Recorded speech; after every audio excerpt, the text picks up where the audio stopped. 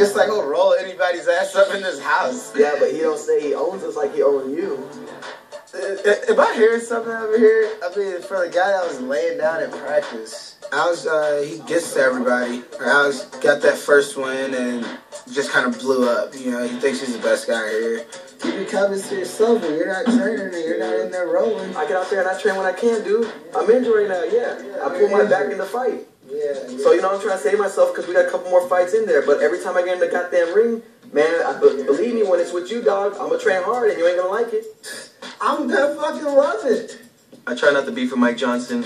I don't know, man. You know, some people don't like me and some people do. Trust me, if you fight me, I'm gonna fucking love it. I ain't Jeff, motherfucker. Don't get it twisted. I'm not saying it, Jeff. Yeah, obviously you are, motherfucker. I wanna fucking kill him. I wish I could fight him.